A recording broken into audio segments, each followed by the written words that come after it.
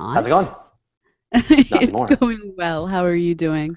Good. I apologize. It's going to make like some sound. All right. I'm on the road again. The place with the fancy ceiling that you like so much. I love Um, that ceiling. Yeah, it's pretty cool. Um, I'd and, be happy if you could do all your hangouts from that room. uh, no, just just. I hate your turquoise wall. I Every love you. I hate your turquoise wall. Oh, I'll just leave it forever just to punish you. Um, no, no, we have plans. We're repainting. We'll repaint it. Um, or have something even cooler. It's all on my list of to-do items. Okay, so uh, this is the last episode of Astronomy Cast for this season. and our 350th episode that has a number on it, which means we're like at 375 or something in reality. Yeah, with all of the question shows that we've done, and then, and then not to mention all the other stuff we've done. Yeah, we've we've had a lot of uh, a lot of episodes. Yeah. Good times. but um, it's not it's not our last episode ever. It's just our last episode for the season. So every summer we try to take off a couple of months and not make shows. And everyone's busy. It's hard to kind of organize all of the all the people. So so today is going to be the last episode of Astronomy Cast until the Dragon Con show, which is going to be Labor Day weekend. And we have a topic. Yeah, I love it too. Rain was Rain was like, you know, I want like all the hard, the impossible questions that you guys get asked. Yeah. What are is- what are the 10 big difficult questions in astronomy right now? And Yeah. so we're going to have a whole crew of people on with us and it's just going to be kind of awesome. Yeah, totally. I'm really. When she suggested the topic, I was like, yes, I love it. So I, I can't wait. It's gonna be really fun. Uh, yeah, so it's Labor Day weekend. Dragon Con, Atlanta. We'll be there. I have Uh, a full Jedi costume I have not worn yet. Really? Yes. I am. Uh, I'm bringing uh, a big chunk of the crew. Bringing Nancy and Elizabeth are coming as well. So. Yeah, And we're bringing the whole SIUE crew just like we usually do. And so it's gonna be a party. So you should all join us. And I, I'm actually a guest this year, which is you know, yeah. They finally acknowledged your awesomeness. Well, they finally acknowledged that being a host of a co-host of Astronomy Cast is worth being a guest, you know, as opposed to being a guest of Astronomy Cast like you. Is always a guest.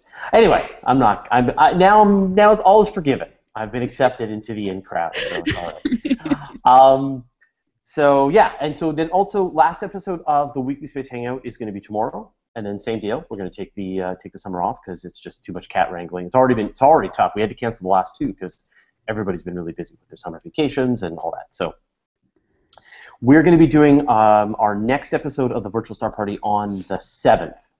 So we're going to be doing them once a month. So once on the seventh, once in once in August. So that's still going to happen over the summer because it's a little more. Well, it's a little. It's nice in the summer. So and some and I'm hoping want to to take I'm hoping to take all my spare time, free time. It- neither really truly exist. I'm hoping to repurpose my astronomy cast time to spend some more time reading for 365 days of astronomy. So we'll get more and more episodes over there. So it's not like Yeah. our voices are going away; they're just going into different places because you Yeah, have your yeah. YouTube video series, and Yeah. we want to Yeah. create all the things. I know, I know. Yeah, I mean, if people think that we're gonna like take this time off, they're crazy. We're, we're just gonna be trying to catch up on all the other stuff that we've had to put off as we've been uh, has been working. And I got a new job, which I mentioned last week. So I'll go into that, you know, what I'm doing right now a little more when Once we we do the, hit the actual record. Yeah, once we once we do the episode. So, uh, as always, um, we're going to take about 30 minutes to record this episode of Astronomy Cast. You can stick around at the end, and we'll answer some questions about space and astronomy. Um, very briefly, because very briefly, yeah, I know. Yeah, and I got to run too. So, but use the Q and A app. I'm going to say hi to Helga Bjorkhaug and Guido Bibra and Peter W. who are watching right now. Thanks, everyone. Um, okay, so are you ready-ish? I am. Okay, I'm going to be recording on my Zoom today. I am going to remember to put my computer into mono. It's in mono. Okay. Mono. I'm pressing record. I have also pressed record, and it is working off the mic input on the gadget. So let's hope this works. Hope it doesn't sound too horrible. I apologize in advance, Preston, because it's uh, um, yeah. Yeah, Oh, and I'm uh, on campus, Preston. We adore you, Preston. We're sorry we torture you, Preston. Um, Guido, no. So you're right. It's on Friday. Sorry, the uh, the weekly space hangout is on Friday. Normal time, not not tomorrow. I'm just completely. We don't know when we are. It's okay. Yeah. Yeah. Timey wimey, wibbledy wobbly. Um, okay, here we go.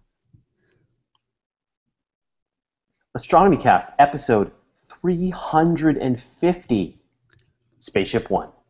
Welcome to Astronomy Cast, our weekly facts-based journey through the cosmos. where We help you understand not only what we know, but how we know what we know. My name is Fraser Cain. I'm the publisher of Universe Today, and with me is Dr. Pamela Gay, a professor at Southern Illinois University, Edwardsville, and the director of CosmoQuest. Hey, Pamela, how you doing? I'm doing well. How are you doing, Fraser? Good. So this is episode 350, and the last episode we're going to be doing for our summer hiatus. So uh, we'll be recording. We got this episode today, and then we'll be taking two months off, and then the next episode you'll hear should be the live episode from DragonCon, um, which will happen over Labor Day weekend 2014, live in Atlanta. If you're going to be going to DragonCon, we'd love to see you. We will have booths. We will have stuff and things and T-shirts and lanyards and Hugs, science. We shall High science fives. you. high fives, hugs, handshakes. We'll sign things. We'll go for coffee. It'll be fun. So uh, hang out with us. Um, and so then the other thing, which I think was is kind of appropriate, I mentioned last week about the new job that I've taken on working for HeroX, and which is a division of uh, spin-off from the X Prize Foundation. But the goal is to try and make crowd essentially anybody be able to make an X Prize. And uh, so you should come check it out at herox.com. But specifically, just to sort of demonstrate how this is all going to work, I've created my own challenge, and I'm calling it the Self-Replicating Robot Challenge. And so the way this works is I want to see a robot make another robot, and those two robots make a third robot, and uh, which I don't think has been done. And so, um, and so the way this works is I want to raise hundred thousand dollars, and then from everybody. And then we all be like, yes, I want to see this in the world. I want to see robots capable. Now, obviously, the space exploration angle of this is that we want to be able to send probes to Mars and the Moon and have them build more copies of themselves. Imagine if we could send Curiosity to Mars and have it craft another Curiosity. So there's a lot of technology, but you know, if we can figure this out, it would be amazing. So come to herox.com slash self-replicating robot and pledge. Join me, you know, kick in a couple of bucks and just show that we want to see this thing exist. And then if we can get to 100,000 or, you know, then maybe we can start this actual challenge and see if people can make this thing happen. So It's Yes. robots building robots so the world can be to- taken over by self-replicating robots. No, no, it's very clear. No Grey Goo, no Terminators, no replicators from Stargate SG-1, no Berserkers. You know, it's just, it's good, nice, lovable. Can we have a DRN from Almost Human because they're kind of awesome? I don't know, I haven't seen that. Um, anyway, so that's It the got canceled. Fox cancels all the good sci-fi. Oh. So here's the thing. um, So let's. Uh, I guess we should get on with the show now. So, um, so Spaceship One, hey, which is part of the X Prize Foundation, uh, is a spacecraft created by Scaled Composites to win the 10 million dollar Ansari X Prize in 2003. It was the first privately built spacecraft to reach 100 kilometers in altitude twice in two weeks, carrying the equivalent of three people. It's the prototype of the upcoming Spaceship Two, created for Virgin Galactic to carry paying passengers into space.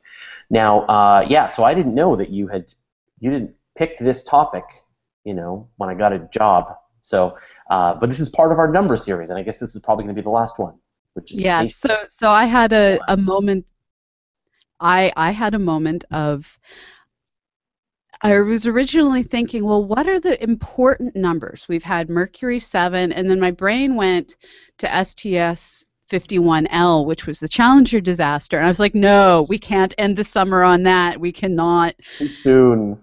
too soon. So Yeah. so in the midst of my oh bad idea, bad idea, bad idea, I was like, what other spacecraft have awesome numbers and are uplifting?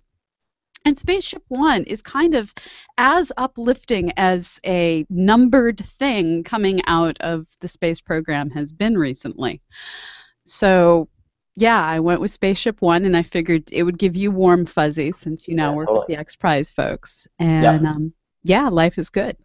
So okay, so let's get let's do some history then. So where did Spaceship One come from? Well, it, it largely came out of Burt Rutan's brain. I mean, it wasn't born forth like Athena popping fully fledged out of his skull. But um, starting in the 1990s, he started thinking about what would it take for us to start doing commercial spaceflight. And you started pulling together teams. And then with the Ansari X Prize coming out in the ten, in the early 2000s, which was nor- which was uh, originally just the X Prize. Uh, eventually, the Ansaris came forward and added to the pot, and that's where the name changed to the Ansari X Prize. But um, it, it really was just over a few brief years where Burt Rutan was able to drive the idea forward, largely funded by Paul Allen of, of the Amazon fortune. Um, and they were able to very quickly go from, hmm, how should we build this, to building it, to test flying it in May 2003, to hitting uh, suborbit, passing that 100 kilometer mark for the first time in June 2004, to, oh my gosh, winning the Ansari X Prize in October of 2004. Um, so once they set their mind to it, it was a matter of a few years, but the ideas were ones that Burt Rutan started playing around with in, in the mid 90s. Yeah, I mean, if you've done any research into Burt Rutan and seen scaled composites, they have this wonderful history of these amazing aircraft that just go back. You know, a lot of craft building aircraft designers or you know aircraft enthusiasts have ordered various um, scaled composite aircraft, and um, I think they contributed to the one that went around the world um, on one tank of fuel. So, so he's got this innovative uh, method of building aircraft that are that are designed. You know, he's always going for simplicity, always going for safety, and and able to sort of crack what were normally very complicated problems with some combination of you know of his technology. So it's and, a pretty amazing company. I, I love how much the idea for this aircraft changed, spacecraft, aircraft, over the, the 10 years from starting it in 93 to first flight in 2003. He, he was originally just planning a more capsule based spacecraft, the old standby, uh, land and water, no big deal. And then basically got inspired by a shuttlecock of all the crazy things. One of those things that you use while playing badminton. It was like, oh, wait and and from that inspiration was born this origami spacecraft that goes from one layout of the wing structure for launch, a different for reentry, and yet a third for landing. And yeah, so let's talk about then sort of the, the components because it's actually a fairly complicated way the whole thing works. But you know, but in the end, as you, you know, as you said, it's very cool and sim- simple and gets the job done. So, so sort of what's the if you went and walked up to Spaceship One, what would you be seeing? You know, when it's on the ground still. Uh, well, currently you can actually walk up and see it in the U.S. Air and Space Museum, which is kind of cool. But the part that's missing from the U.S. Air and Space Museum is White Knight 1. So, Spaceship One was designed to fly on the underbelly of White Knight 1, which is a giant high altitude flying aircraft that was designed in a way that it could be used for uh, reconnaissance. It could be used for carrying things to high altitude, like it does with Spaceship One. It has all of these different applications.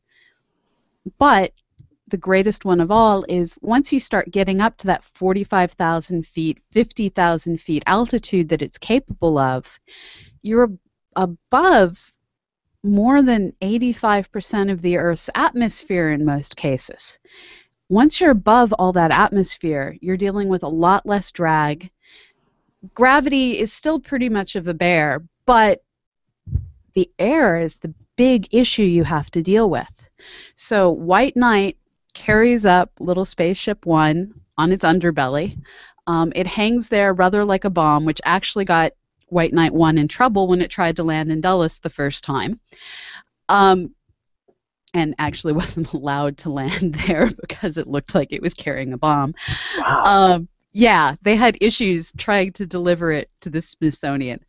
Uh, so so White Knight takes off carrying Spaceship One on its underbelly, gets up to somewhere between 45,000 and 50,000 feet, and it drops Spaceship One. And for some period of time that they don't tell you, uh, the pilot on board Spaceship One is adjusting the trim, getting everything happy, and then presses the ignition, and it fires. And at this point, you now have a rocket craft in, in the spirit of the early suborbital flight, flights that uh, were dropped off of bombers back in the 1950s. Um, very quickly goes into a straight vertical climb, uh, climbs for several minutes until the rocket's cut off, at which point it's going so fast that it just gets carried the rest of the way up to it's about 100 kilometer altitude. So it's it's a pretty dramatic day when you're taking off on one of these things. But once you're up there, um, hits the apex of its journey, and then reconfigures its wings again, flipping them up so you have the belly of Spaceship One facing the ground. Um, by f- facing the ground, it, it's creating the most drag it possibly can. And flips the wings up into the feathered position. It actually takes it about 15 seconds to move everything up. And this this is an interesting moment. Um, once it's feathered, it tries to re-enter at about 65 degrees and it slows down and you're pulling about five times the force of gravity as you decelerate through the atmosphere like a shuttlecock.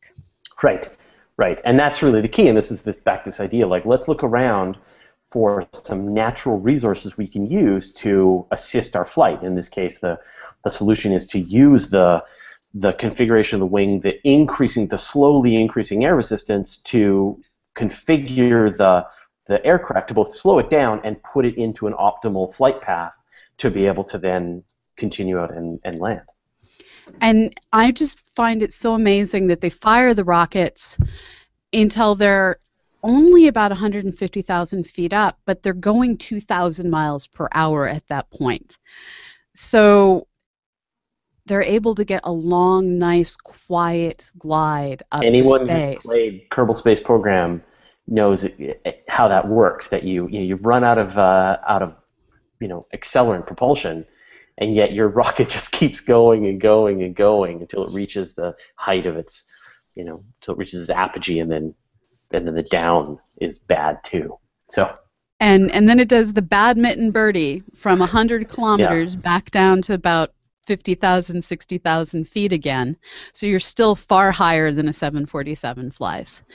But once they hit that point, uh, they then changed the spacecraft into a glider. It's it's actually designated with an FAA call number that is a glider designation. And it glides the rest of the way down. And I think the most amazing thing I learned while reading about this is how fast a turnaround all of this is. It's about 10 to 15 minutes from the point that it hits the I'm going to become a glider again um, for it to return all the way back to its landing strip uh, where it took off with, with White Knight. And Spaceship One will actually typically beat the White Knight back. Right um, okay, so kind of let's um, let's talk a bit about sort of when things happened in leading up to it actually winning the X Prize. So it it's first carried up, left Mojave Spaceport um, was May 20th of 2003. Um, it hit a top speed while being carried of half the speed of sound. It went up about 14 kilometers, flew for about two hours, and they just sort of had Spaceship One dangling beneath White Knight. So utterly boring, um, but still kind of cool. Um, from that, they went on to, to carry it one more time in July. Um, this time they had an astronaut on board, Mike Melvill, who would eventually be the first commercial astronaut, the first man to, to cross that 100 kilometer barrier. Um, they very quickly, in August of 2003, started doing glide tests. They continued doing glide tests up until December of 2003, at which point they did their their first firing of the rockets. They didn't actually go very high. They just climbed to 20 kilometers. They climbed for about six kilometers above where they started. This time it was being piloted by Brian Binnie, who uh, was the pilot when, when they eventually won the X Prize. Um, the third man who uh, got to, to fly it was Peter Siebold. He unfortunately was not able to, to ever fly it up above the 100 kilometer mark, so he didn't get the title of commercial astronaut. Um, but they kept testing, kept doing powered testing, kept pushing it a little bit higher, a little bit higher. Hit 32 kilometers in April of 2004, hit 64 kilometers in May of 2004. And then June 21st, 2004, they almost made it to Mach 3. They made Mach 2.9 and just edged over the 100 kilometer altitude. They they actually had to get it confirmed, and they didn't know instantly if they had done it or not. Um, during a 24 minute flight, Mike Melvill qualified as the first commercial astronaut ever in the world. Right, and then the requirements of the X Prize were that you had to carry the equivalent of three people, so the pilot and two passengers, and so in this case they just carried weight with Mike Melvill, um, and you had to complete this within two weeks. Two flights in two weeks, and you couldn't replace more than 10% of your non fuel mass. So, if you think about race cars, there's certain things you always swap out. You swap out the tires, things like that. That's cool. But the idea was you had to be building a reusable spaceship. And, and so there's that 10% of your mass cut. So they tested some things some more. Then in September, they went for the record. So on September 29th, 2004, Mike Melvill took off, hit 103 kilometers, 102.93 kilometers, and scared every single person who was watching. Because with their feathered design, there are some known points that they call built in features that cause spins that look rather radical and terrifying.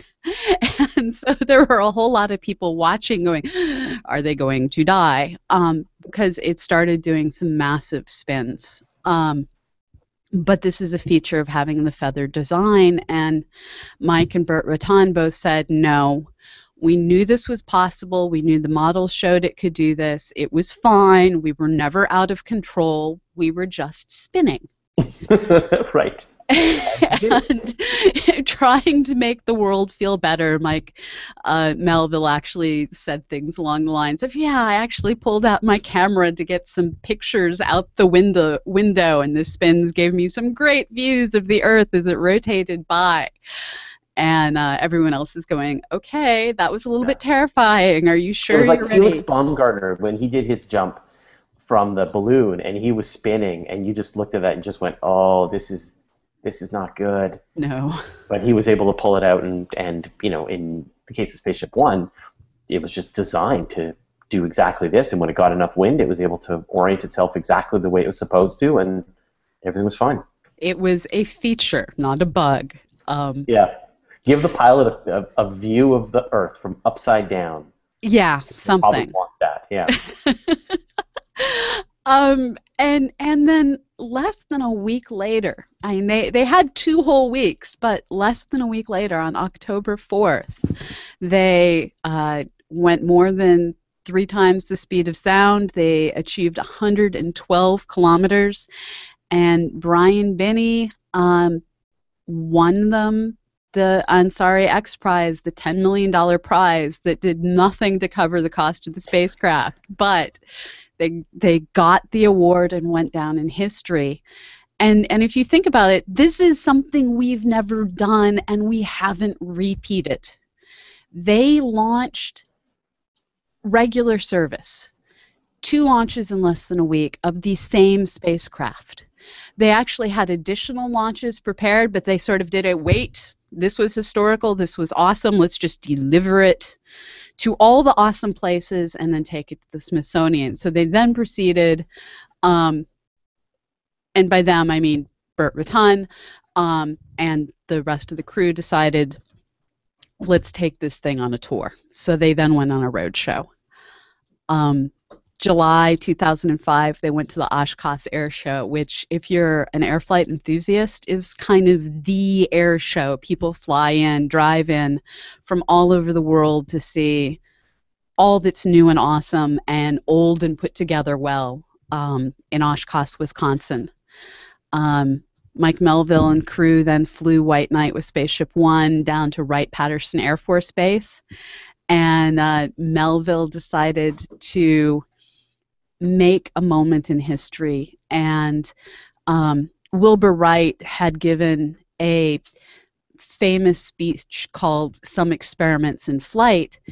And um, Mike Melvill decided to give a talk with the exact same title at, at Wright Patterson Air Force Base. And from there, they attempted to deliver it to the Smithsonian. Um, but poor Mike Melvill, while trying to land at Dulles, which was where they were supposed to land, uh, apparently the the flight controllers took one look at at White Knight and went no, and um, refused to let them land because it looked like they were carrying a bomb underneath White Knight, and.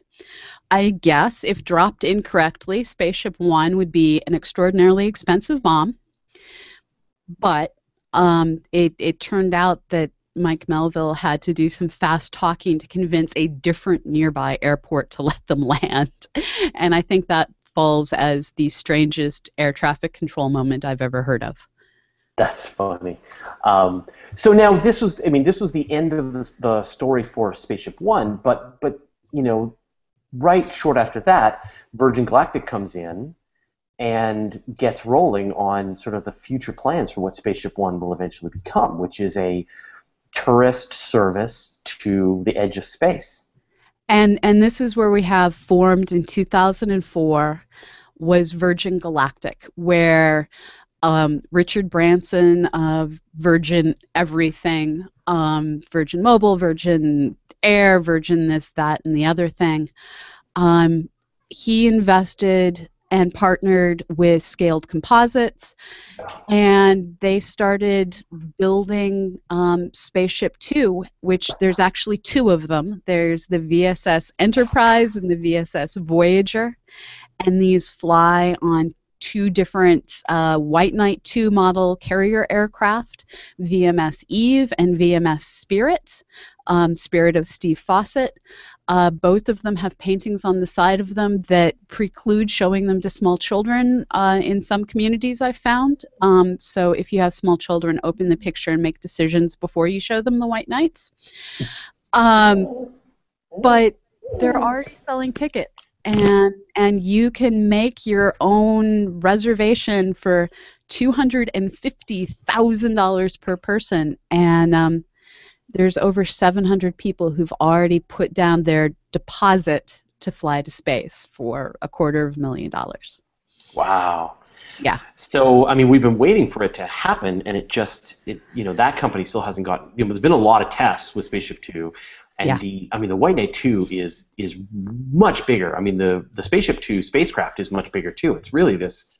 Um, scaled up, really scaled up version of the Spaceship One. But in this case, it's got you know nice, comfortable seating inside, room for lots of people, plenty of barf bags. I'm hoping. Uh, and, and, and uh, these are going to be some pretty adventurous people who are going to finally uh, do this. And one of the the things that they've run into is in 2014 they changed what type of a fuel they're using they changed what type of a model they were using in 2012 Burt Rutan retired in 2011 and i'm sure that that affected how things were progressing. Yeah. So they they also had to try and recover from in 2007 they they had an explosion while they were testing one of their engines.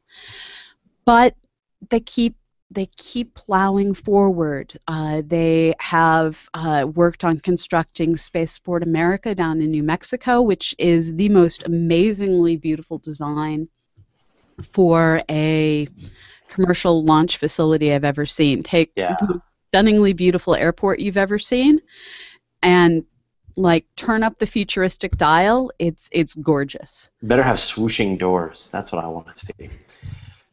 I, I Um, can't speak to the doors. right. Uh, yeah, and so I think you know it's funny because, like on the one hand, when that happened, we all felt like this is it.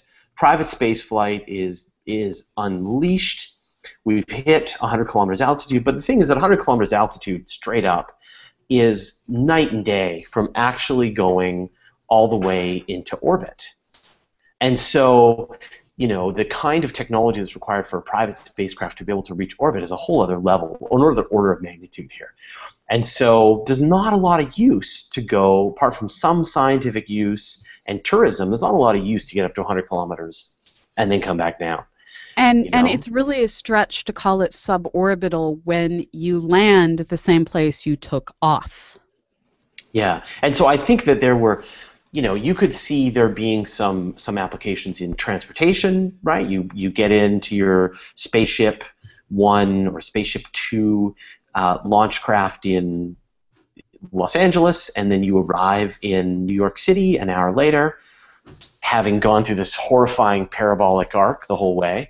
Um, but that. so I think there are some, that. you know, I think we're still kind of waiting, and it feels a bit like like we're recreating the moon landings. That you know, the folks, humans landed on the moon, and then, and then, Yeah. then. So I really do hope that Spaceship Two and Virgin Galactic gets rolling, and that maybe there are some applications of.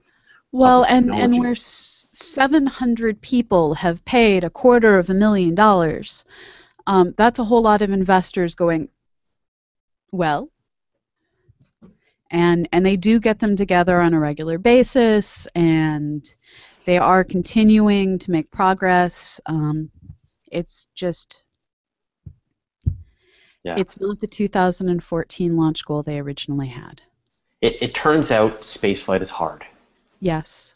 So- Surprise, surprise. No one ever guessed. Surprise, surprise, spaceflight is hard. Um, cool. Well, I think that's all I got, Pamela. Okay.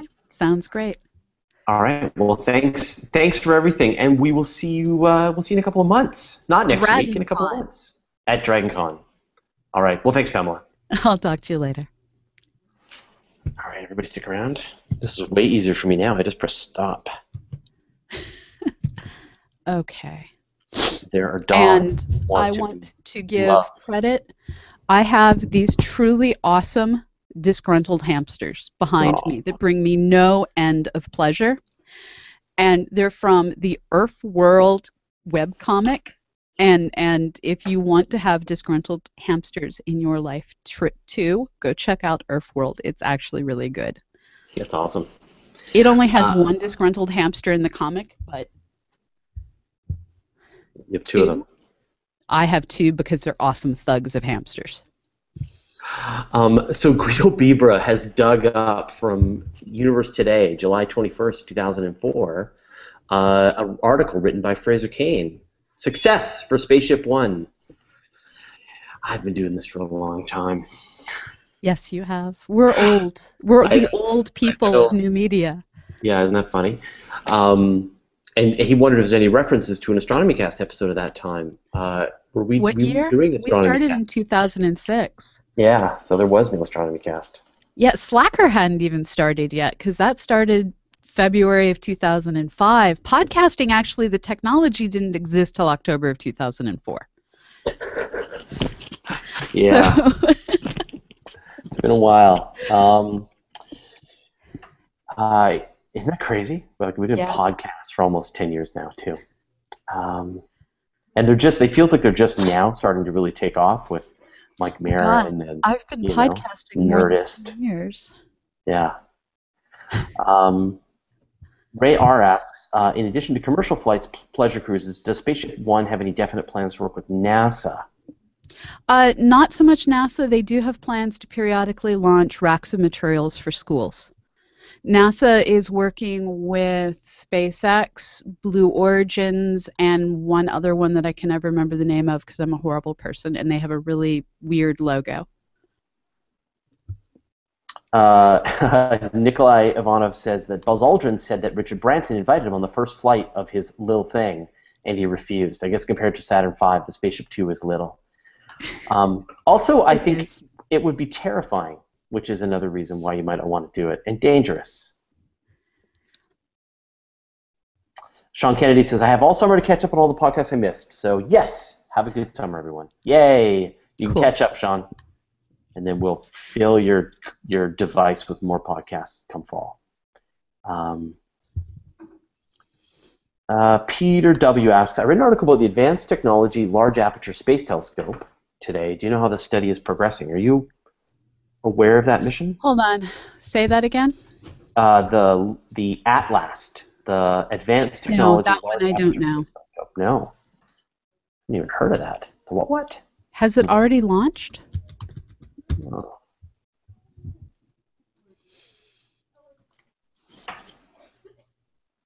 Oh, it's a mission concept. So what you're hitting is the problem of spacecraft are dead to me until they're actually almost launched. Except for And- the the um the terrestrial planet finder, which is just dead. Uh, five times, five to ten times better angular resolution than um, James Webb, and two thousand times better than Hubble. So uh, W sounds great. first Let's- comes first. Follow WFIRST, and and if WFIRST makes it to construction, this will be next. So root for WFIRST, and then we'll start to contemplate this one. I think it's safe to say that there will probably be bigger aperture, more better. I mean, I think the big lesson that we've really learned with Hubble, and I'm sure we're going to learn with James Webb, is that if you just put an, a, a lot of glass up in space, good things happen. the the issue becomes one of how do we afford more and more spacecraft with decreasing numbers of salary dollars. Oh, our budget's going down? Yes. Oh, yeah. No So, budget. so the problem is that if you start looking at how much money goes to the Large Synoptic Survey Telescope, to the ALMA radio array, to Curiosity and James Webb Space Telescope, suddenly you've consumed uh, a, a very significant percentage of NASA's budget. Then, or astronomy's budget, NASA and National Science Foundation both. Yeah. Factor in all the rest of the existing missions, and suddenly there's fewer and fewer dollars left to pay for things like humans. Well, and it always comes to this age-old question about, you know, do you just put a great big generic technology up in space, you know, a great big telescope, or do you create purpose-built missions designed to answer some specific question like It's some- the Rocky Kolb Simon White debate. Yeah, do you do you map out dark energy? Are you searching for variable stars? Are you looking to probe the cosmic microwave background radiation, or do you just want to put a great big telescope that can do kind of anything? Well, And- and, and this is where you end up with compromise systems like the Large Synoptic Survey Telescope that is designed in a way that are go- it is going to find all the remaining asteroids one kilometer and higher that might kill us. But after it's done with that mission, we're going to have a giant telescope. Which will have value.